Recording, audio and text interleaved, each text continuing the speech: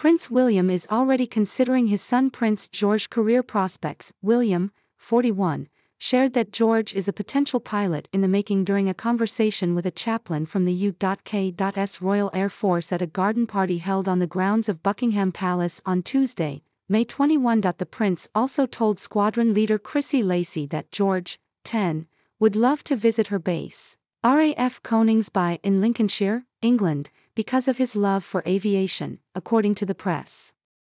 Association, back in 2016, George's mother, Princess Kate Middleton, revealed that George, who was then three, was obsessed with planes and wants to become an air cadet, reports Hello. Despite the gloomy London weather on Tuesday, William was joined at the garden party by his cousins, including Princess Eugenie, Princess Beatrice, and Zara Tindall, who attended with her husband, Mike Tindall, Kate, 42, was not in attendance as she continues to receive treatment for cancer. The princess revealed in March that her doctors found a cancerous tissue in her body during an abdominal surgery in January. The MY medical team therefore advised that I should undergo a course of preventative chemotherapy, and am now in the early stages of that treatment, the princess said in a video shared by Kensington Palace in March.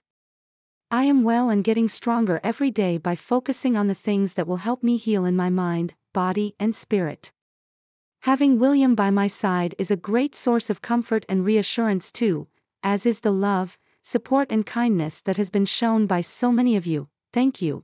You have successfully subscribed, subscribe to newsletter, subscribe by signing up. I agree to the terms and privacy policy and to receive emails from What's the Gossip Deal of the Day Act Fast Crocs are 25 off today. View deal check our latest news in Google News follow us check our latest news in Apple News follow us you have successfully subscribed. By signing up, I agree to the terms and privacy policy and to receive emails from What's the Gossip check our latest news in Google News check our latest news in Apple News during a May 10 royal engagement. William said that the Princess of Wales is doing well.